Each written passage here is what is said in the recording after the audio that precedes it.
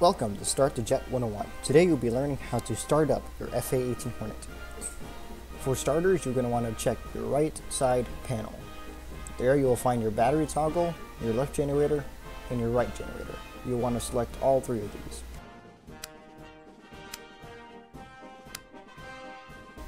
After doing so, you may proceed to the left panel, locate the engine crank. It will take a moment to spool up, so while we're doing this, you can go ahead and look forward to the HUD toggle. And you can close the canopy as well.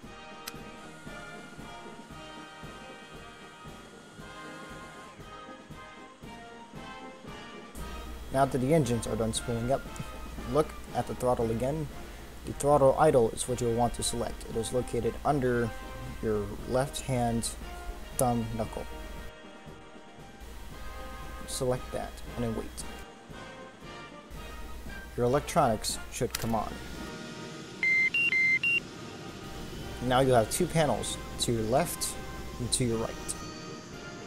You can select them to whichever one you feel comfortable with. I personally set mine to radar and electronic warfare. After that, you may proceed with the throttle up if you are ready.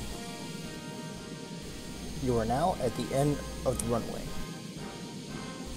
From here, there are several functions you want to be aware of. Most of them are bound by keybinds, but there are a few you can select in here as well. To your, to your left, you have the master arm switch. Flick that to enable your weaponry. Down here is your radar toggle. That will turn on and turn off the radar panel. Keep in mind, this does not turn on your radar set. That is bound by your key. To your right panel is your HMD visor. Right here is your cable hook toggle. Right here is your wing toggle. Right here is your auxiliary power unit. There are several other panels you can select up here as well, such as electronic warfare. Return to the tactical menu to change what panel you want to set it to, such as targeting pod, heads up display. To the left panel is your flaps.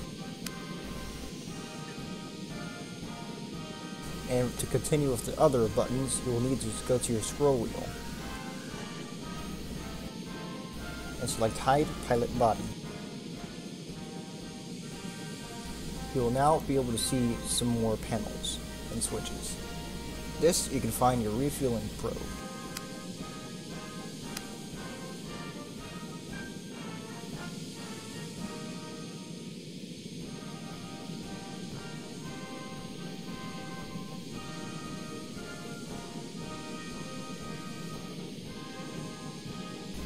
And if you aim at this section of the bar, you can turn off your throttle.